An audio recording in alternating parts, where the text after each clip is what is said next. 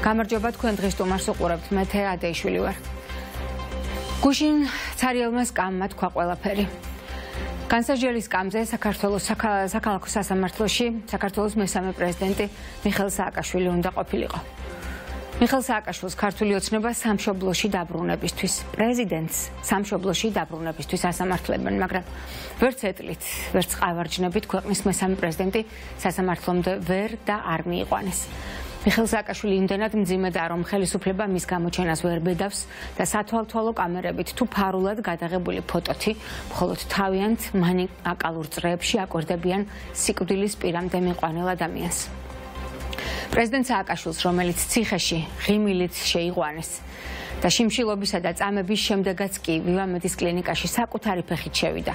საკუთარი ფეხით შევიდა სამკურნალო დაწესებულებაში. ის დღეს იმდენად მძიმედაა, რომ ვივამედის ექიმებმა გუშინ ვერ აიღეს პასუხისმგებლობა იმავე ქუჩაზე, თუნდაც რეანიმობილით პატიმარი პრეზიდენტი კლინიკიდან საქალაქო სასამართლომდე მიიყვანათ.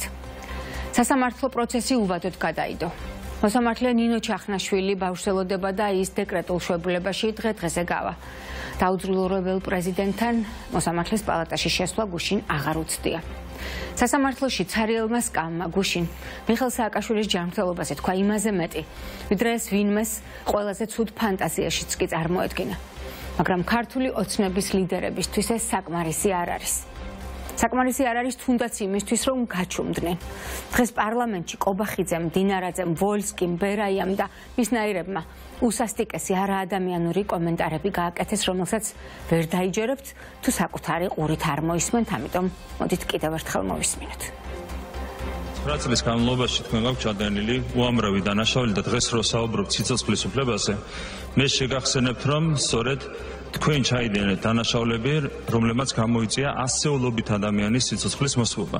და თქვენ საერთოდ მორალური უფლება არ გაქვთ, რომ ადამიანის სიცოცხლის უფლებაზე ისაუბროთ. ვერაფერს ვერ ამბობთ დიაგნოზზე და ასე ვერ ამბობთ მაგალითად ემორჩილება თუ არ ემორჩილება მიხაილ სააკაშვილი ექიმების დანიშნულებას ინსტრუქციებს და ასე შემდეგ. ასეთ პირობებში ყველაფერი არის ცარიელი სპეკულაცია. მე შეგახსენებთ მიხაილ სააკაშვილის ერთ-ერთ მეგობარს, იულია ტიმოშენკოს, რომელიც ციხიდან გამოვიდა კალიასკით, მანამდე იყო უამრავი სიმულაცია, ეტლით უკაცრავად. გამოვიდა ეტლით და ეს იყო მისი პირველი და ბოლო გამოჩენა ეტლით. მეორე დღეს წამოხდა ქალბატონი ტიმოშენკო ეტლიდან. რატო იყო იყო მარტივი სიმულაცია? ხომ არ გვაქვს ასეთივე სიმულაციასთან ჩვენ საქმე ამ შემთხვევაში. სამკითხებზე პასუხებია გასაცემი, ვერ არიათ ეს ქვეყანა, ხო და ანონსეთ ცხელი შემოდგომა, არაფერი სიცხელის არ ეთყობოდა ამ შემოდგომას და ისევ მიუბრუნდით თქვენ ბოლო იმედს, ეს არის მიხეილ სააკაშვილი და მისი განთავისუფლება. დიაგნოზი ატო ვერ ვიხსენებთ, იცით? რეალური დიაგნოზი არავის დაუგია ჯერ. შემდეგ გამონახეს გამოსავლა დემენცია, გონებრივი ჩამორჩენილობა და ასე შემდეგ. ამის შემდეგ მომდენო კითხვა. ეს ადამიანი უჯერებს თუ ამას ჩვენი კოლეგები საუბრობენ. უჯერებს თუ არა ექიმებს, ამ ექიმებთან დაკავშირებით და მათ რჩევებს ითვალისწინებს თუ არა მეორე კითხვა ამის შემდეგი. ის ეს დიაგნოზი, თქვა რაღაც დიაგნოზი აბსტრაქტული. არ იკურნება საქართველოსი უცხოელ და ქართული ექიმების ჩართულობით უმაღლესი დონის კლინიკაში რა პრობლემაა მისი მკურნალობა ოპოზიცია და სააკაშვილის გუნდი უნდა იყოს პირველი, ვინც ამაზე იყვირებს ხმამაღლა, რომ არავითარ შემთხვევაში არ გაანძრიოთ ის მართლაც ცუდად არის და იყოს საავადმყოფოში. ნიკა გვარამი ამბობდა, რომ საერთოდ დაკარგული აქვს ცნობიერება და საერთოდ მისი განცხადებები, მისი მითითებები არ უნდა მივიღოთ ხედველობაში, ვინაიდან ადამიანი არაადეკვატურია. და როგორც კი სასამართლოში გადაყვანის საკითხი დადგა, თითქოს არაფერი არ არსებობს, იგი უნდა თურმე სასამართლოში იქნეს მიყვანილი. შეუსაბამობა იმდენად დიდია, იმდენად უტიფარია, რომ სხვა თუ არა პოლიტიკური სპეკულაცია, ამას არაფერი არ შეიძლება დავარქვა. თუ რაიმე ღონისძიებები არის გასატარებელი, თუ რაიმე ნაბიჯებია გადასადგმელი, შესაბამისი სამსახური ყველაფერს აკეთებს და მომავალშიც გააკეთებს, რომ დაცული იყოს ყველა პატიმრის, მათ შორის სააკაშვილის ჯანმრთელობის და სიცოცხლის ალბათ მოისმინეთ ეს კომენტარები და დარწმუნებული ვარ გახსოვთ რას ამბობდნენ ეს ადამიანები მანამდე. თუნდაც დღეს ერთის მხრივ ქართული ოცნების დეპუტატები ამტკიცებენ რომ მიხელ სააკაშვილი ცუდად არის რომ მისი გადაყვანა არ შეიძლება. მეორეს მხრივ ამბობენ რომ ეს სპეკულაცია და სიმულაცია. მიაქციეთ ყურადღება ამ სიტყვებს. სპეკულაცია სიმულაცია გონებრივი ჩამორჩენილობა როგორც ხედავთ ხელისუფლების ეხ საერთო სიტყვა არის ახლა სპეკულაცია, სიმულაცია, გონებრივი შეფერხება. მამუკა მდინარაძე საუბრობს მიხელ სააკაშვილის გონებრივ ჩამორჩენილობაზე. მიაქციეთ ამ ყველაფერს ყურადღება. ისინი დასცინიან მიხელ სააკაშვილს და ცდილობენ მის გონებრივ მდგომარეობაზე გადართონ სენსაციებზე დაგეშილი ხალხი. გიავოლსკი იმასაც კი კადრულობს, რომ უდანაშაულოდ დაპატიმრებული ნიკა გვარამიას რაც არ უთქვამს, ის დააბრალოს და ნიკა გვარამიას სიტყვების უტრირება მოახდინოს. აქვე შეგახსენებთ იულია ტიმოშენკოს ისტორიას, მისი პატიმრობა უკანონოდ აღიარა სტრასბურგის სასამართლომ. იულია ტიმოშენკო იანუკოვიჩის პირადი პატიმარი იყო. ის ხანგრძლივი შიმშილობისგან ძალიან ძიმე მდგომარეობაში გამოვიდა საპატიმროდან 2014 წელს ვადამდე ადრე მაიდნის მოვლენების შემდეგ. მე მაშინ კიევში იმ დემონსტრაციას ვაშუქებდი, როცა ხარკოვის საპატიმროდან ტიმოშენკო ინვალიდის ეტლით მოიყვანეს და ის მეორე დღეს. და მეორე კარგახანს არ გამოჩენილა ეს ტყუილია. იულია ტიმოშენკომ კურნალობის ხანგრძლივი კურსი გაიარა და ის გერმანიაში სამკურნალოდ პირადად მაშინდელმა კანცლერმა ანგელა მერკელმა მიიწვია და ეს კობახიძის მოირგი ტყუილი და ცილის წამება უკვე არ ამხოლოდ პრეზიდენტ სააკაშვილის არამედ უკრაინის ყოფილი პრემიერ-მინისტრის მიმართ და ამის გადამოწმება ძალიან მარტივია თვითონ კობახიძისგანაც და ის ახლა ხალხს ატყუებს, მორიგჯერზე ატყუებს. სახალხო დამცველი ნინო ლომჯარია და ოპოზიციის წევრები ქართული ოცნების ლიდერებს ურჩევენ თუ არ გჯერათ და თუ გონიათ რომ ყველაფერი ტყუილია, პირადად შედით სააკაშვილთან და ნახეთ მისი მდგომარეობა. აი ამ ფონზე საქართველოს ხელისუფლებაში გაურკვეველი ზეიმია. რადგან მათ კარგად იციან რეალურად როგორ არის მიხელ სააკაშვილი. საკაშვილის ჯანმრთელობის მდგომარეობა ისეა დაზიანებული, რომ მისი გადარჩენა მათი დამსახურებით სათუოდ გახდა თვითონ ექიმებისთვის.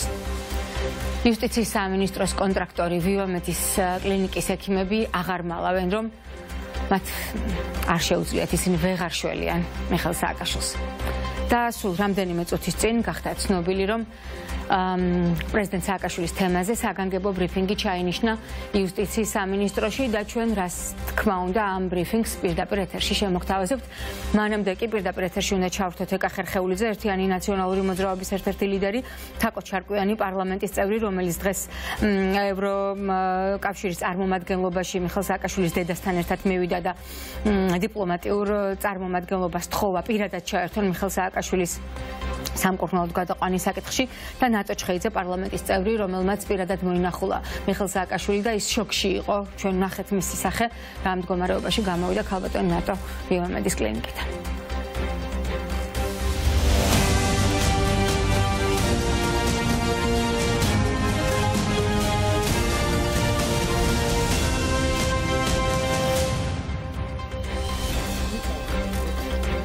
ეკა ხერხეულიძეს ჩავრთავთ ახლა პირდაპირ ეთერში, რომელმაც ცოტა ხნის წინ დატოვა მიხელ სააკაშვილის პალატა. ქალბატონო ეკა, მადლობა ჩართვისთვის. თუ შეგიძლიათ გითხარით, რა მდგომარეობაშია ის დღეს?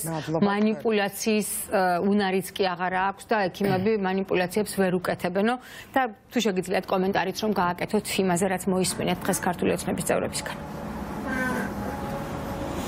მე გავაკეთე კომენტარი ვივამეთთან და აღწერე ის მძიმე მდგომარეობა, რა მდგომარეობაშიც იმყოფება მიხელ სააკაშვილი. მე იმედი მაქვს საზოგადოება, რომელსაც აქვს ჰუმანურობის შეგრძნება, კარგად აკეთებს დასყდას იქიდან გამომდინარე რომ წარმოუდგენელია აი ესეთ საძაგელი კომენტარების ფონზე ადამიანები დაიბნენ და სწორი დასკვნის გაკეთება ვერ შეძლონ. მე ამაში დარწმუნებული ვარ საზოგადოებას ესმის როგორ არის მიხელ სააკაშვილი, რამძიმია მისი მდგომარეობა და რომ მას აუცილებელი აღმოუჩინოთ დახმარება იმისთვის რომ სიცოცხლე შეძლოს. ახლა ჩვენ ამ ზღვარზე ვიმყოფებით სამწუხაროდ, მე არანაირი სურვილი არ მაქვს ვეკამათო ისეთ არაადამიანურ პოზიციებს, რომელიც ახლა დღეს გამოავლინეს ქართული ოცნების სპიკერებმა მე არ მართლა არ შემიძლია მათენაზე საუბარი, მათ დაუპირისპირდა იმ ლექსიკით, რითიც ისინი საუბრობენ, უბრალოდ აუტანელი ამის მოსმენა ჩემთვის და აუტანელია განსაკუთრებით იმ ფონზე, რაც მე რაღაცა სულ ცოტა ხნის წინ ვივამეთში იმ მდგომარეობაში დავტოვე. ადამიანი რომ სრულიად შეუსაბამოა მათი პოლიტიკური დღის წესრიგი იმ რეალობასთან რაშიც იმყოფება მიხელ სააკაშვილის. არის ძალიან ძიმედ ის არის მართლა კრიტიკულ ზღვარზე და მას ჭირდება დაუყოვნებლივ დახმარება. ამას რაც თავარია ის ექიმები არ უარყოფენ რომლებიც მუდმივ მონიტორინგს უწევენ მიხელ სააკაშვილის მკურნალობის პროცესს და მათ ყველაზე კარგად იციან. ყველაზე კარგად ცნობენ იმ ვითარებას როგორშიც იმყოფება დღეს საქართველოს მესამე პრეზიდენტი და მე დარწმუნებული ვარ. სასამართლოს წინაშე ისინი იქნებიან მიუკერძოებელი და ობიექტურები საზოგადოების წინაშე და აუწერენ იმ ვითარებას როგორ მდგომარეობაშიც იმყოფება მიხეილ სააკაშვილი როგორ გამოსავალს ხედავთ? ქალბატონო თქვენ ქალბატონო ეკა თქვენ ახლა? ელოდებით თუ არა? აი 17 საათზე მორიგი ბრიფინგია იუსტიციის სამინისტროს ჩანიშნული. მორიგი ელოდებით თუ არა რაიმე პოზიტიურ გადაწყვეტილებას იუსტიციის მინისტრის მხრიდან. როგორი წინა პირობებიც არ უნდა კონდეს რატი ბრეგაძეს და მიგაჩნიათ თუ არა რომ ეს ახლა არის მართლა დღეების და წუთების საქმე ამ ადამიანის გადაყვანა სამკურნალოდ საზღვარგარეთ. თუ გავითვალისწინებთ იმ ფაქტორს, რომ ბატონო ბრეგაძემ ძალიან კარგად იცის რეალური მდგომარეობა, რა თქმა უნდა, მოლოდინი უნდა იყოს თეა ჩვენი, რომ დღეს უნდა მიიღონ გადაწყვეტილება მიხეილ სააკაშვილის გაყვანასთან დაკავშირებით, მაგრამ მე ამას არ ვფიქრობ, რომ ეს დღეს მოხდეს. მე მგონია, რომ გუშინდელ დღესთან დაკავშირებით ეს საზოგადოებას მიაწვდიან, თავის გამამართლებენ არგუმენტებს, თუ რატომ არ მიიყვანეს მიხეილ სააკაშვილი სასამართლოში და რატომ არაჩვენეს საზოგადოებას. მე უფრო ამას ვარაუდობ, თუმცა ამ კითხაობას აზრი არ აქვს, უმჯობესია ჩვენ დავევალოთ, ცოტა ხანში იქნება უკვე ეს ბრიფინგი და მოვისმენთ ყველა. გუშინ ხატიაზე ვიხარდება რომ ცდებოდე და მეიღონ ის გადაწყვეტილება, რაც ლოგიკას ექვემდებარება. კაპიტანაკა გუშინ ხატია დეკანოიძე საუბრობდა ტრემორზე, რომელიც არამხოლოდ ხელზე, თვალზეც იყო დაწყებული, დღესაც იგივე გრძელდებოდა. კომუნიკაციის შესაძლებლობა თუ გქონდათ, თუ ილაპარაკეთ, ამას ხმამაღლა ლაპარაკიც კი არ შეუძლიაო, როგორც როგორც მოვისმინეთ გუშინ თვითმხილველებისგან. ხო დღეს მკვეთრად ცუდად იყო მიხელ სააკაშვილი მძიმე იყო დღევანდელი მდგომარეობა. ეს თქვენ იცით რომ ცვალებადია ეს მდგომარეობა ხო მეტნაკლებობის გათვალისწინებით და არც ერთ შემთხვევაში თქვა კარგსა და სუჩურის მდგომარეობით არიცულება ეს გაწყობები მისი გამოხატულება ყოველ შემთხვევაში ჯანმრთელობის მდგომარეობის იმიტომ რომ ადამიანი ყველანაირად ცდილობს რომ შეძლოს კომუნიკაცია მას ამის სურვილი აქვს იმიტომ რომ ის არის ოთხ კედელს შორის და ნებისმიერი მნახველი მისთვის არის შვება და გარესამყარო სამყაროსთან კონტაქტი ოღონდ რამდენად შეუძლია ეს და რამდენად ახერხებს სწორედ იმაზეა დამოკიდებული იმ დღეს როგორ იქნება, როდესაც მნახველები ყავს მას. დღევანდელი დღე ასეთი იყო, ძალიან მძიმე იყო. მას ჰქონდა ტემპერატურა, ჩემს თვალწინ გაიზომა ექთანის თანდასწრებით, ტემპერატურა რომელიც ნორმად იქცა და ეს აღარ არის იშვიათობა.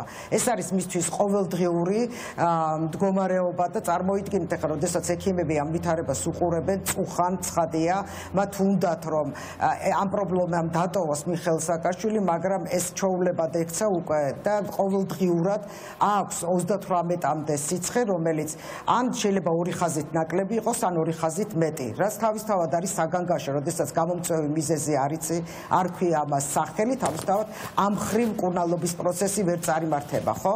ანუ შევეგუეთ ამ მდგომარეობას, რომ ეს სიცხე უნდა იყოს. ეხა, როდესაც ქართული ოცნების სპიკერებს უსმენდი და ისინი დიაგნოზზე საუბრობდნენ, საუბრობდნენ საუბრობდნენ გაურკვეველ თემაზე მათთვის, მათთვის სრულიად უცნობ თემაზე. მე თავისუფლებას არ ვაძლევ მიუხედავად იმისა, რომ ძალიან ბევრი რამ ვიცი დიაგნოზებთან დაკავშირებით, მაინც განვაცხადო მე, როგორც მოქალაქე ამ ქვეყნის, იმიტომ მე პროფესიით ექიმი არ გახლავართ და მირჩევნი ამაზე ისაუბრო მედიკოსებმა, ვინაიდან დამაჯერებლობაც მეტი ექნება და დასაფუთებაც ნებისმიერ მათ მიერ გაცხადებულ თქვათ დიაგნოზს. ამიტომ თავს ვიკავებ. და ეხლა როდესაც თქვათ იგივე ბატონი მდინარაძე, იგივე ბატონი ვოლსკი, არ ვიცი ნებისმიერ ვინც ამაზე გააკეთა. ა კობახიძის კომენტარი მოვისმინე კიდე, განსაკუთრებით მძიმე და ამაზრზენი ჩემთვის, როდესაც ისინი აკეთებენ დიაგნოზთან მიმართებაში, დიაგნოზებთან მიმართებაში საკუთარ შეფასებებს, მათ ავიწყდებათ ერთი რამ, რომ ისინი აკეთებენ პოლიტიკურ განცხადებებს და ისინი შორს არიან რეალობისგან, მათ არიციან სამედიცინო ტერმინოლოგია, მათ არიციან სამედიცინო შეფასება რამდენად მძიმეა, რადგან როდესაც სასამართლოზე მოусმენენ ექიმებს, მე მაინტერესებს მათი კომენტარები და დაწმულა საზოგადოებასაც აინტერესებს, რა სიტყვიან ამის შემდეგ და რამდენად ობიექტურები იქნებიან იმ ძიმე რეალობის წინაშე, რასაც ექიმები საზოგადოებას და სასამართლოს გააცნობენ.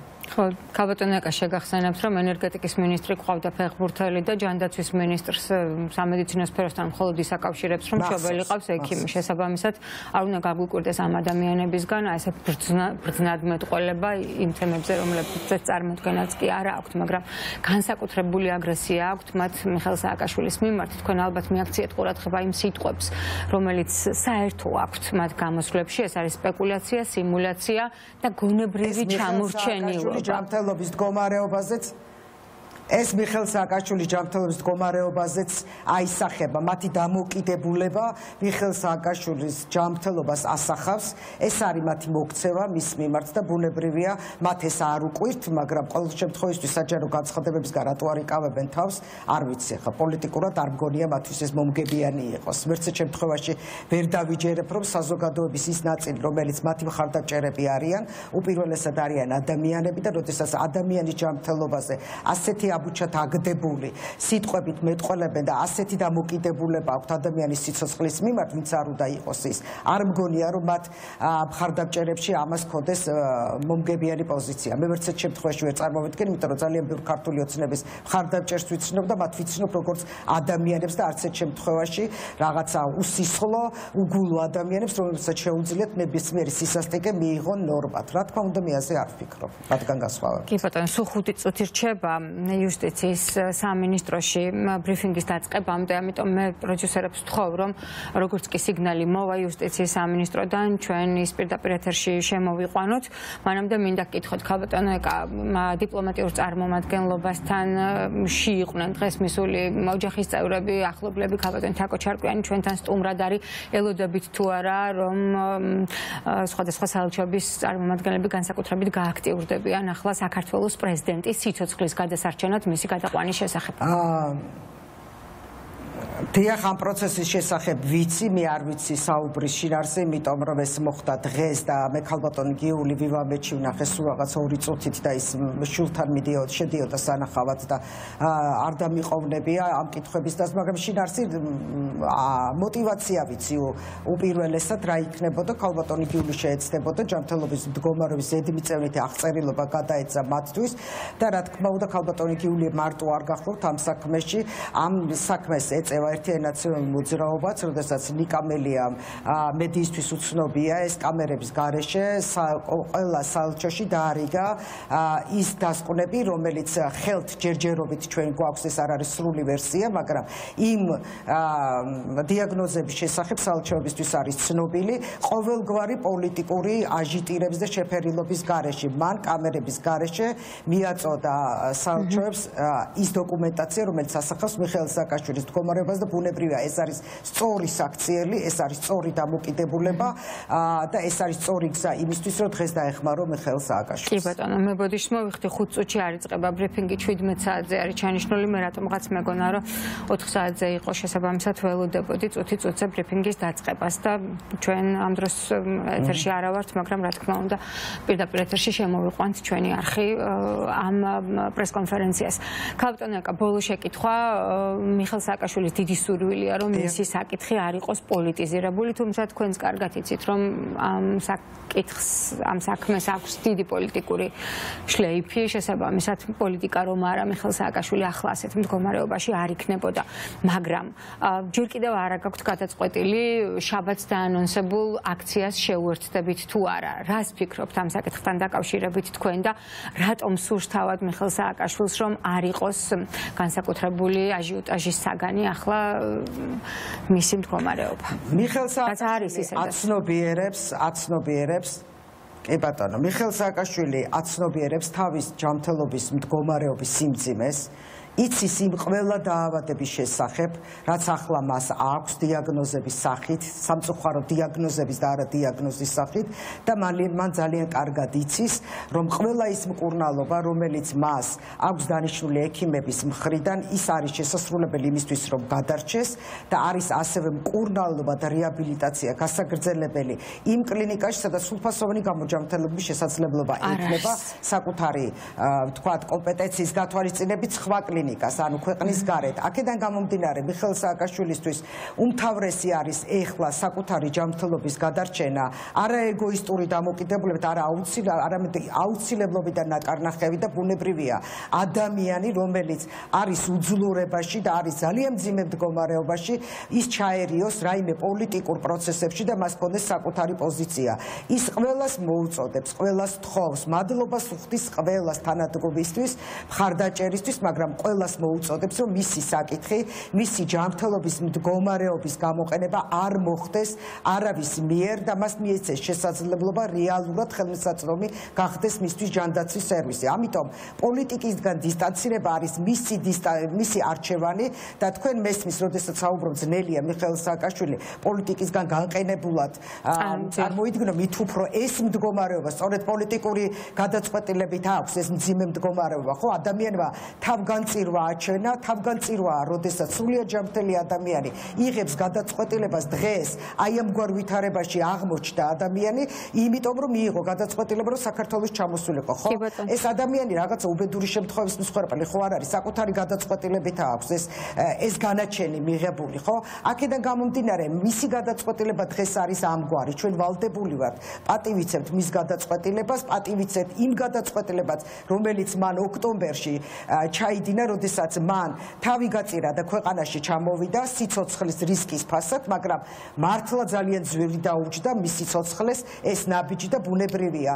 მე მირჩევნია გავითვალისწინო მიხელ სააკაშვილის ის მდგომარეობა, როგორშიც ახლა ის იმყოფება და მივეხმარო იმ ვთქვათ პროცესს, რომელიც დაკავშირებულია მიხელ სააკაშვილის ამ ქვეყნიდან გასულით და ჯანმრთელობის რეაბილიტაციით, რომელსაც რა თქმა უნდა არანაირი გადაწყვეტა ჯერ არ აქვს, მაგრამ ეს არის პროცესი, მაგრამ ამ პროცესს მირჩევნია გავყვე დიდი მოთმინებით, დიდი თავშეკავებით და არც შემთხვევაში არ ვიყო სულ სწრაფი და არ გამოვხატო ჩემი ემოციები მიხელ საკაშულთან მიმართებაში, იმ მდგომარეობასთან მიმართებაში, რომელშიც ის იმყოფება, იმიტომ რომ აქ არ წდება ჩემი ბედი, მე ამას ვაცნობიერებ, რომ ადამიანი, რომლის არჩევანიც არის ეს პოზიცია, წდება მისი ბედი და თუ მე მინდა მისი დახმარება, მე უნდა გავიზიარო უპირველესად მისი პოზიცია. კი ბატონო. კაპიტანაკა ძალიან დიდი მადლობა დაგემშვიდობებით, მადლობა რომ თქვენთვის ძალიან ძიმე ემოციურ ფონზე ჩაგვერთვეთ და მოგვიყავით ის რაც ნახეთ ამეთის კლინიკაში. თაკო ჩარკვიანთან გავაგრძელებთ საუბარს. ის დღეს მიხელ სააკაშვილის დედასთან ერთად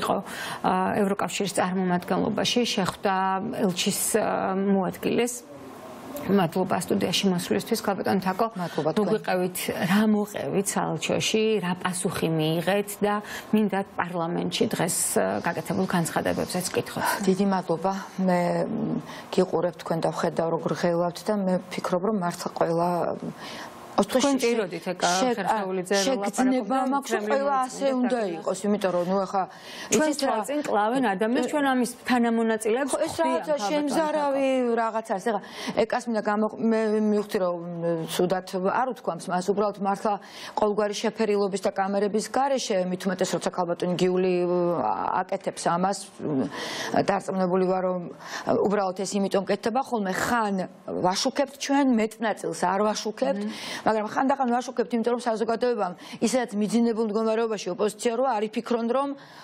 საერთოდაც არაფერი არ კეთდება ამ მხრივ არა და ჩათვალეთ რომ კვირაში სამჯერ ოთხჯერ მაინც არის აი ამ ტიპის შეხვედრები. ხანდახან შუქდება ეს ხან ნუ არ შუქდება. ამიტომ აქ ფიქრობ არანაირ ასე ვთქვათ კამერებთან პოზირებაზე არ არის საუბარი, მით უმეტეს თქვენი არხი იყო მოსული, რითაც მადლობა ყველა ჟურნალისტს, რომელიც ასე ინტერესდება. ნუ უმძიმესი ვითარება თეა. ეხლა იცით როგორ მდგომარეობაა? აი გვაიძულებენ ჩვენ მაგრამ გუშინ ეს შეგრძნება ქონდა სასამართლოზე. უკვე სიბრაზე არ მაქვს მე. გავიგე რომ ჩვენ ვართ აი ამ ტიპის სახელმწიფოში, სადაც არ არის სასამართლო და პროკურატურა ჯიბის არის. მაგრამ ჩვენ სად ვართ? და ჩვენ რას ვითმენთ ხალხნო? და სულ ვამბობ მე უხერხულება ისა ნაღმი შეუგდოთ თქო კი არ ვამბობ პროტესტის ფორმები ხომ არსებობს არა? რაღაც ადამიანური ფორმები.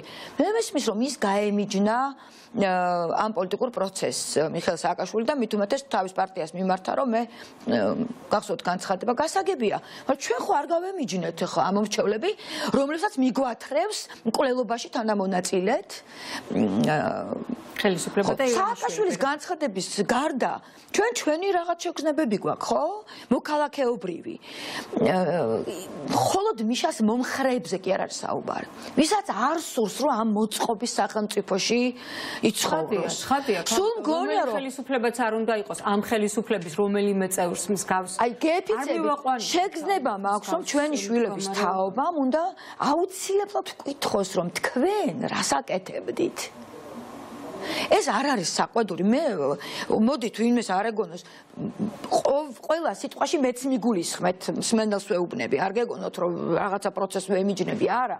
მეტნაკლებად ვისაც რა შეგვიძლია ვაკეთებთ ხო? ამიტომ მე ხანდახან როდესაც გაღიზიანებული გამოვდივარ ხოლმე მხოლოდ იმიტომ რომ მინდა რომ მე პროფესიით ვარ მუსიკოსი.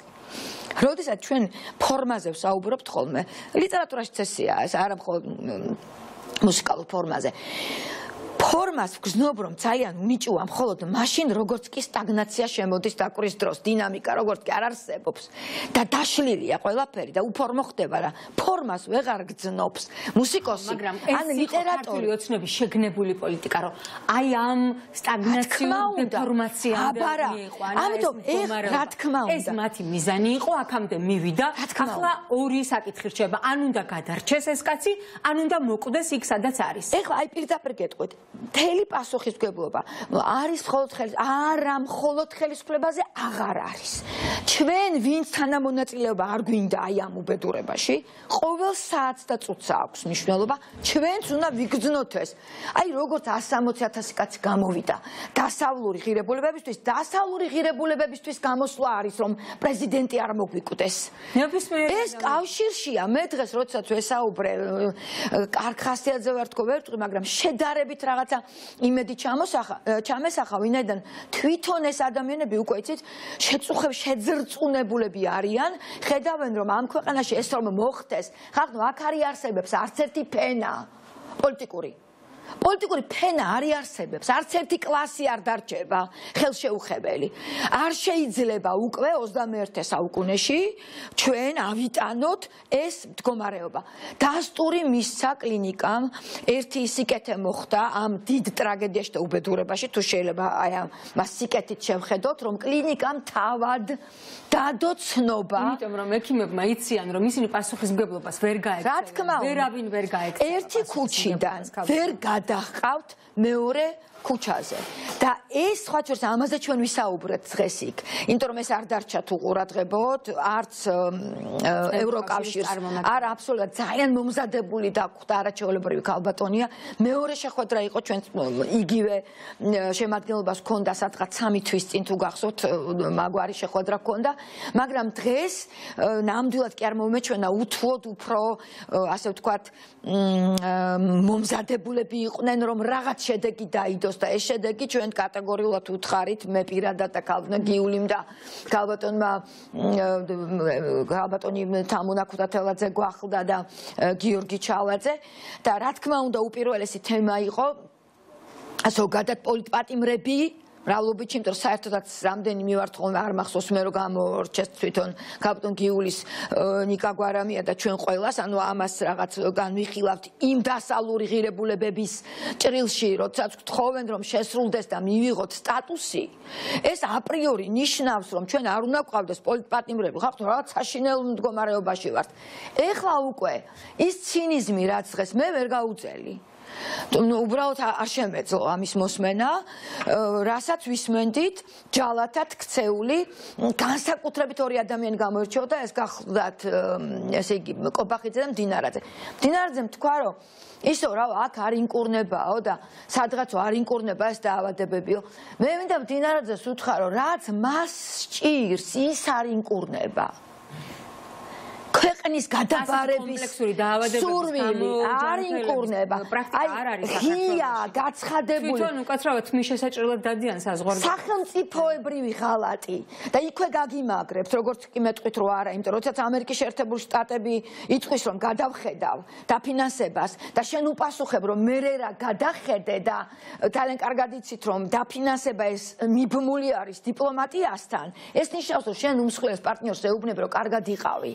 და აი ეს არის სახელმწიფო გაცხადებული ღია ხალხი. რადგან პარლამენტზე და ხელისუფლების წევრებზე დაიწყეთ საუბარი ქალბატონ თაკო, რაც მოისმინეთ დღეს? აი სიტყვები, საერთო მესიჯები, საერთო გზავნილები და მათ შორის რა ვიცი, ხმამაღალი ლაპარაკი პოლიტიკოსთან, ხელისუფლების წარმომადგენელთა მხრიდან მიხელ სააკაშვილის დემენციაზე, გონებრივ ჩამორჩენილობაზე, რატო ღმერთი არ გაიცნობს მამაკაცებს? იცით რა, თქვენ ძალიან გონიერი მე ისედაც გიცნობთ პირადად ძალიან გონიერი ადამიანი ხართ. თქვენ ხო ხვდებით რომ ეს ყველაფერი არის არაცნობიერი.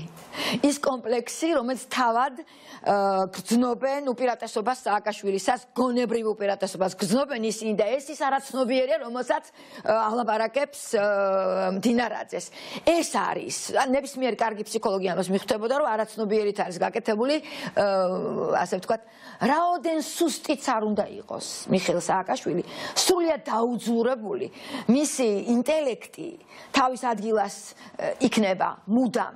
რაც შეეხება იმ დაავადებებს, რომელიც რომელსაც გარკვევს ჩვენი სპექტრიც და ახალგაზრდები, რომლებიც უკვე ძალიან გაღიზიანებულები არიან და როგორც კი გავარკვევთ, რომ ეს პრეზიდენტი, როგორც რუსეთთან დაპირისპირებული პრეზიდენტი, ისე ყავთ დასჯილი და ის ნივთიერებები, რომელსაც უკვე ღიათ არის საუბარი, თორე მე თამარჩარკვენი ამაზე არ ვისაუბრებდი, საიდან აღმოცენდა ნუ თუ არ გაქვთ გაანალიზებული რომ უთუოდ აი ის სამართლინო სამართლებრივი სისტემა დაგხვდებათ და ის გაგასამართლებთ. იმიტომ რომ ჩვენ დავიწყებთ გარკვევას საიდან მოხვდა მის ყეულში ამდენი უბედურება.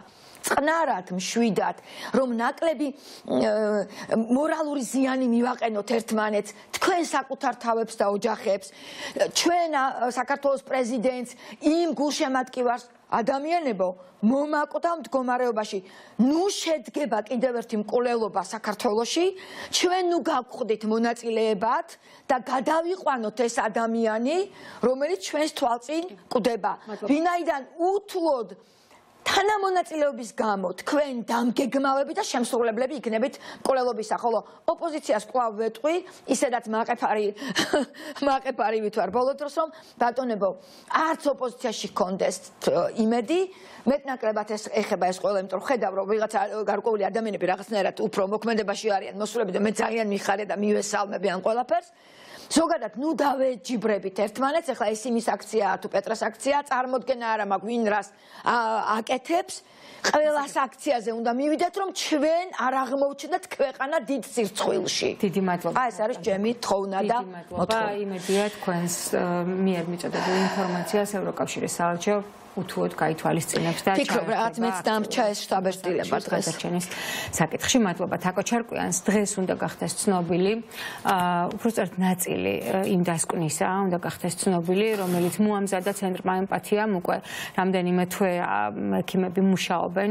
ამ საკითხთან დაკავშირებით 193 გვერდიანი დასკვნა რომელსაც ახლავს დაახლოებით 3000 ფურცელი ანალიზებისა და იმ მდგომარეობის აღწერილობისა რა მდგომარეობა მდგომარეობაშიც არის საქართველოს მესამე პრეზიდენტი მოვისმინო ცენტრ ემპათიას და მიხელ საკოშუს კიდევ ერთი ადვოკატის შალო ხაჭაპურძის განცხადება და გავაგრძელოთ საუბარი. ბივამედის ექიმის კომენტარიც არ ამდენად ჩემთვის ცნობილია დღეს აგეგმილია კვლევები, რომელიც ჩაუტარდება მას შესაბამისად დღის განმავლობაში. არ ჩაითვალა მიზანშეწონილად, იმიტომ რომ ნანახი და ექიმების ჯგუფის მიერ და მიზანშეწონილად არ იქნა ჩათვლილი ვინაიდან ტრანსპორტირების დატვირთვა, ფსიქოემოციური დატვირთვა შეეძლო გაერთულებინა მისი ჩათვლილი. იმ მოსაზრებებით მე რაც გუშინ ექსპერტების მოვისმინე, არ გამოურიცხავ რომ ორივე მოვითხოვოთ ალტერნატივის სახით საჟელის საჟელისგან გათავისუფლება და ალტერნატივის სახით საჟელის გადავადებული. ეს არის ნევროლოგია, ეს არის სხვადასხვა მიმართულება, მაგრამ ძირითადად წამყვანი მაინც იქნება ნევროლოგია და გასტროენტეროლოგია. დღეს უნდა მომაწოდოს დღის მეორე ნახევარში ქალბატონმა მარიამ ჯიშკარიანმა დასკვნა თავისი 3000 გვერდიანი დანართებით დასკვნის მიღების შემდგომ მე შეხვდები ბატონ სააკაშვილს მისი ოჯახის წევრებს და იქ განვიხილავთ უკვე მისი ნებართვა და მისი ოჯახის წევრების ნებართვა არის საჭირო რა შეიძლება გასაჯაროდეს და რა შეიძლება არ გასაჯაროდეს? შეიძლება. დასვასთან დაკავშირებით ჩვენ თავარი მიგდებები ბერჯერ გავახმოვანეთ და იქნება კიდევ ერთხელ. მინდა გითხრათ რომ დასკვნა არის 193 გვერდი მას მიყება 3000 გვერდამდე დანართი და შესაბამისად არის ძალიან მტკიცებულებებზე და მობილი დასკვნის თავარი მიგნება გახლავთ ის რომ მიხეილ სააკაშვილი დაუყოვნებლივ უნდა იქნას განთავისუფლებული სასჯელისგან ვინაიდან მისი ჯანმრთელობის მდგომარეობა არის უკიდურესად მძიმე და ხდება განთავისუფლების სტანდარტებში და იგი უნდა იყოს გადაყვანილი საზღვარგარეთ შემდგომი დიაგნოსტიკისა და მკურნალობისა სხვადასხვა მარიამ ჯიშკარიანი ბოლო რამდენიმე დღეა აი ასე კატეგორიულად საუბრობს მის გათავისუფლებასა და სასტრაფო სამკურნალოდ გადაყვანაზე. სანამ დასკვნის დასკვნითი ნაწილი არ იყო მზად მარიამ ჯიშკარიანს გასტიპის განცხადებები არ გაუკეთებია. მიუხედავად იმისა რომ ხედავდა რამძიმე მდგომარეობაში იყო პაციენტი მიხელ სააკაშვილი ამიტომ მისი ეს კატეგორიული ტონი განსაკუთრებით შემაშფოთებელია ვინც ამ მოვლენებს ყურადღებით ვაკვირდებით. დაახლოებით დაახლოებით ერთი კვირის წინ მიხელ სააკაშვილი მოინახულა პარლამენტის კიდევ ერთმა წევრმა ნატო ჩხეიძე მის ჩვენი სტუმარია ახლა. კაპიტან ნატო მადლობა სტუდიაში მოსვლისთვის. მე იმ დღეს რომ მქონდა მცდელობა თქვენთან გასაუბრებისა თქვენ ეს ვერ მოახერხეთ მაშინ ვერ შეძელით თქვენი ფსიქოემოციური მდგომარეობის გამო. მოვისმინეთ დღეს პარლამენტში თქვენი გამოსვლაც და იქ იყო ასეთი საინტერესო სიტყვა რომელიც ძლივს თქვა როგორც ჩანს მიხელ სააკაშვილმა რაც ნახე გარეთ გადი და მოყევიო ამიტომ მესმის რომ მაქსიმალურად იცავთ კორექტულობას როგორც გუშინ ნინო ლომჯარია რომელიც ასევე შოკირებულ მდგომარეობაში გამოვიდა მიხელ სააკაშვილის პალატიდან მაგრამ იქნებ თქვათ ყველაფერი იმიტომ რომ ხანდახან აუცილებელი არ არის დაინახო რა მდგომარეობაში ადამიანი ამის აღწერა შეიძლება და თქვენ ლიტერატურასთან დაახლოებული ადამიანი ამას კარგად ხვდებით რასაც გულისხმობ ახლა მოგესალმებით თია, მივესალმები თქვენს მაყურებელს, თქვენი მაყურებლებიდან ბევრნი ალბათ და სხვა ტელევიზიის მაყურებლებიდანაც ბევრნი არიან ისეთები, რომლებსაც ნამდვილად და გულწრფელად აინტერესებთ მიხელ სააკაშვილის მდგომარეობა, ზოგს იმიტომაც, რომ გაიგოს რაღაცა სინამდვილე რა არის და ზოგს იმიტომაც რომ სენსაციები ხო თუნდაც თუნდაც მაგიტო. აა მე გარდა იმისა რომ ვარ პარლამენტის წევრი და ამდენად მაქვს უფლება იმისა რომ მოვინახულო პატიმარი გახლავართ ექიმი ჩემი პროფესიით და ამიტომაც საჭიროდ ჩავთვალე რომ მომენახულებინა მიხეილ სააკაშვილი მით უმეტეს იმ განცხადებების ფონზე რა განცხადებებიც ჰქონდათ ექიმებს და რა განცხადებებიც ჰქონდათ ქართული ოცნების წარმომადგენლებს მიუხედავად იმისა რომ მათაც ეყოლებათ. ცხადია ცხადია. აი ყველაზე უფრო სამწუხარო და ყველაზე უფრო საგანგაშო სწორედ ის არის რომ ის რაც მე ერთი კვირის წინ ვნახე და ეს ერთი კვირა რომ გავიდა ბევრად უფრო უარესი ნახეს სხვებმა ვინც ამ ერთ კვირაში ნახა და ყოველდღიურად იცის ქართული ოცნების წარმომადგენლებმა ის რაც არის დღეს მაინც ძალიან ცინიკური განცხადება ქონდა ირაკლი კობახიძეს სიმულაციასთან დინარაძეს სიმულაციასთან დაკავშირებით. მიხეილ სააკაშვილს თავისი პრეზიდენტობის დროს ქონდა ქარიზმაც და არტისტიზმიც მაგრამ იმისი თავი ნამდვილად ახლა არ აქვს რომ რაიმე სიმულაციას გაუწიოს თავის თავის მიმართ. ეს არის ყოველად წარმოუდგენელი, იმიტომ რომ მიხელ სააკაშვილს უბრალოდ ვერ იცნობთ. რომ შეხვალთ იმ პალატაში ვერ იცნობთ. გარდა ამისა, აი შეხვედით პალატაში, შეგიყვანეს და რა შევედი. აა დამხვდა ის, რომ ვერ ვიცანი ის, რაც დავინახე და ამიტომ ვიფიქრე, რომ ალბათ ორი პატიმარია აქ მეთქი და გავიხედ გამოვიხედე, რომ დამენახა ის, ვისაც ასე თუ ისე ყველანი ვიცნობთ. რაც თვალში მომხდა იყო ის მას შემდეგ რომ კითხვა კობახიძემ რომ კომფორტულ პირობებშია უფრო მაგრამ პატიმრის პირობებშიც არ არის მოით აქედან დავიწყებ. აი გარე ვიზუალიდან იმიტომ რომ ორი ფანჯარა აქვს იმ საკანია თუ პალატა და თავიდან ბოლომდე მთლიანად არის თეთრი საღებავით შეღებილი. ისე რომ ცის ნაგლეჯიც კი არა და საერთოდ არაფერი არ ჩანს ხალხს. განჯარა თეთრად შეღებილი? თეთრად შეღებილია თავიდან ბოლომდე. აბსოლუტურად დაყრუებულია იქაურობა და ჩავთვალე რომ ეს არის არა საკანი, არა პალატა, არამედ დილეგი. აი ადრე ჩვენ რო ვიცით და რომ გვეუბნეოდნენ ისტორიის გამომდინარე რომ აი დილეგში აგდებდნენ ადამიანებს კი დილეგი მიწის ქვემოთ იყო და სწორედ ის იყო დილეგი რომ არ ჩანდა არაფერი მithumetes თავზეც რო გადააფა ეხმარებდნენ. აი ასეთი დილეგი შტაბეჭილება დატოვა იმ პალატამ, იმიტომ რომ აბსოლუტურად იზოლირებულია და აბსოლუტურად დახურულია გარასამყაროდან. თუმცა, რასაც აქამდე ამბობდნენ რომ დეპრესია აქვს მიხეილ სააკაშვილსო და არ არ არ უნდაო იყოფნაო აი დეპრესიისა ნამდვილად ვერაფერი ვერ შევატყე დეპრესია არის დაავადება რომელსაც თავისი სიმპტომატიკა აქვს და დეპრესია ნამდვილად არ აქვს მიხეილ სააკაშვილს მაგრამ ის რაც გარეგნულად ჩანს. გარეგნულად არა გარეგნულად არის ის რომ არის უკიდურესად გამხდარი ეს არის კახექსიური ადამიანი. ძვალი და ტყავია. შეზღუდული აქვს მოძრაობა იმდენად რომ აშკარად ეთყობა დეფორმაცია იცით რა? ართრიტის და ართროზის როგორ არ გვინახავს ჩვენ ექიმებს მაგრამ 6 თვის განმავლობაში ასეთი სისწრაფით განვითარებული სახსრების ეს ანტებითი რეაქციები გაუგებარია, ჩემთვის მაგალითად გაუგებარია, რა შეიძლება სახსრების მოძრაობა შეზღუდულია აშკარა. ფეხის მე წარმოუდგენლად მიმაჩნია, რომ იმ ფეხებით რაც იქ დავინახე მიუხედავად იმისა, რომ სპორტული შარვალი ეცვა, ცხადია, იმ ფეხებით გადაადგილება არის შეუძლებელი. არ შეიძლება გადაადგილდეს აუცილებლად კიდეც რომ მოეყვანათ გუშინ, აუცილებლად იქნებოდა ან ეტლიზე დამჯდარი, ან ყავარჯნით, ან ბადრა ფაქტზე ჩამოკიდებული თავისით მიხეილ სააკაშვილი ვერ გადაადგილდებოდა. თქვენ თქვენ როცა იქ იყავით იწვა თუ? მე როცა იქ ვიყავი სისტემა ქონდა გადასხმა უტარდებოდა როგორც ვიკითხე და მითხრეს ეს სწორედ ნაწლავური ანთებების გამო იყო და ამის გამო utardeboda ეს სიცხე ქონდა ჩემი ყოფნის დროს 37 ნახევარი მაგრამ ასევე ვიკითხე და გადასხმის ფონზე მაინც კი კი კი. და მითხრეს რომ მუდმივად არის 37-დან 38 გრადუსი სტატუსამდე მერყეობს და სხვადასხვა დაბალი სიცხეები ბევრად უფრო პრობლემურია და საშიშია, ვიდრე მაღალი სიცხე, იმიტომ რომ მაღალ სიცხეს კიდე რაღაც გამოსავალს უპოვდი და თვით დამცავი რეაქცია ორგანიზმისა. საქმე სწორედ და იცით რა, თვალში მომხვდა მიხეილ სააკაშვილის თმების გამეჩხერება. მე არ ვიცი ეს რისი ბრალია ეს არ არის გამელოტება არა ჭაღარაში არ არის საქმე. აი დღეს რომ გამო გამოაცლი ბევრ ხებს და გამოშინდა აი ასე გამეჩხერებულია თმები.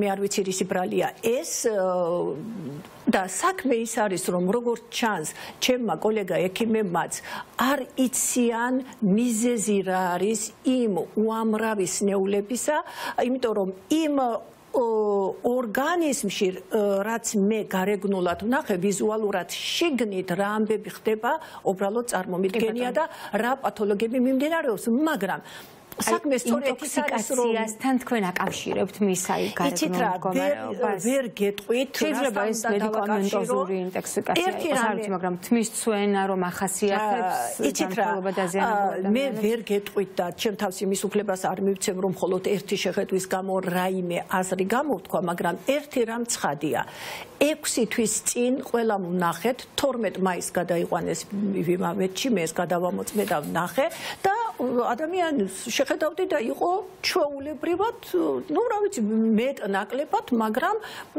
ნორმაში მყოფი ადამიანი. 6 თვის განმავლობაში ასეთი სისწრაფით უკუსულა და თან კლინიკაში. თან კლინიკაში და მე დამშას დაბიჭილება რომ სიцоცხლე ნარჩუნდება. როგორღაც? მაგრამ არა იმის ხარჯზე რომ ვინმე იცის რა არის გამომწვევი მიზეზი. აი შერს მარიამ ჯიშკარიანი მუდმივად ამბობდა მას არ მკურნალობენ მის სიცოცხლეს ინარჩუნებენ ამ წამები და მივედით აქამდე. არავის არ შეეროდა მანამდე. იგივე განცხადებებს არანაკლები აგრესიით და გესლით ამბობდნენ ქართული ოცნების წარმომადგენლებით. ახლაც კი არ ჩერდება რა თქვენ პარლამენტში დღეს მას. სამწუხარო ის არის რომ ჩემმა კოლეგა მედიკოსებმა როგორც ჩანს არიციან გამომწვევი მიზეზი რა არის და თანმხლები დაავადებები რა არის რაც არის მას აქცევენ მაქსიმალურ ყურადღებას როგორც შეუძლია. დარწმუნებული ვარ რომ ექიმები ამას აკეთებენ მაგრამ თუ კი არიცი გამომწვევი მიზეზი და ეს ვერ დაადგინე რა თქმა უნდა მკურნალობა ვერ იქნება და კურნალობა რომ კურნალობის ფონზე კი არ არის კატასტროფა. კატასტროფა არის სწორედ იმ გამომწვევის ფონზე 6 თვის განმავლობაში ასე შეცვლა ვერ გეტყვით რისი ბრალია, მაგრამ ეს უნდა თქვას სწორედ იმან, ვინც იცის. და როგორც ჩანს ვივამეთში და არც სხვაგან ჩვენთან ეს არიციან, მაგრამ აუცილებლად იციან სხვებმა. და ყველაზე ცუდი სწორედ ის არის, ახლავე თქვენ შეკითხვასაც პასუხს გავცემ, რომ იციან რა კატასტროფული ვითარება მიხეილ სააკაშვილის თავს, მაგრამ მაგრამ აკეთებენ განცხადებებს, რომ ის არის კარგად. მე ისეთი შთაბეჭდილება მრჩება, რომ ბოლოს და ბოლოს მიიღებენ გადაწყვეტილებას, ну, პირველ რიგში ბიძინა ივანიშვილი და მე რეცხადია ქართული ოცნებაც, მაგრამ ისე ვიტყვიან, რომ სიმულაცია, მაგრამ ჩვენ გვაქვს ისეთი ჰუმანური დამოკიდებულება ყველა პატიმრის მიმართ რომ ჩვენ მაინც მივეჩით ესა და ეს საშუალებაო თქვან. დაეთქვან დაეთქვან რომ ასე ჯერათ და ასე იციან მაგრამ თვითონ ისიც ძალიან კარგად იციან რომ ძალიან გამოუვალ მდგომარეობაში არიან. ეს კიდე ცალკე პირადი სიძულვია და ცალკე მაინც რასაც დღეს ამბობდნენ? ეს ხო მათზე მეტყველებს საშინლად ქალბატონი არა როგორ ჩანს გაჩუმების უფლება არა ტიმოშენკოსაც კი თავს და ტიმოშენკოსაც კი სიმულაცია დააბრალეს ანუ არა გაჩუმების უფლება არა აქვთ. და ბოლომდე იძახებენ ამას მაშინაც კი როდესაც თვითფრინავში ღმერთ მაქნას და ასე მოხდეს. თვითნავში ჩასვავენ მიხეილ სააკაშვილს მაინც ასე იტყვიან და ბოლოს მინდა ბოლოს არ ვიცი როდის მაგრამ მინდა მაინც თქვა რომ ქრისტიანული წესით ასია რომ ღმერთი იმაზე მეტ განსაცდელს არ არგუნებს ადამიანს რისი ატანაც არ შეუძლიაო. მიხეილ სააკაშვილს როგორც ჩანს ამ უკიდურესი მდგომარეობის ატანა ჯერ კიდევ შეუძლია და ვფიქრობ რომ აიტანს მანამდე სანამ მისი სიცოცხლე არ გადარჩება და ვფიქრობ რომ ეს გადა გადარჩენა აუცილებლად იქნება. კი, თქვენი ოჯახი ძალიან განიცდიდა მაშინ, როცა ჩვენ ასე ქვია, პირველი პრეზიდენტი, ქვეყნის პირველი პრეზიდენტი მოვკალით გულისხმობ ზვიად გამსახურდიას და როგორ წარმოგიდგენიათ რა შეიძლება მოხდეს ეს მესამ პრეზიდენტის მდგომარეობა ფატალურად რომ დასრულდეს. მე მინდა რომ ფატალურად არ დასრულდეს. ეს სურვილი ექნება სხვა სხვებსაც და დარწმუნებული ვარ. მიხეილ სააკაშვილის ტრებიდან ზოგიერთებსაც ექნებათ ეს სურვილი რადგან ასეთი მაგალითები ძალიან ცუდად აისახება ქვეყანაზეც. მის მომავალ ისტორიას. და ქვეყანას მომავალ ისტორიაზეც და ქვეყანაზეც და თვითონ მათზეც.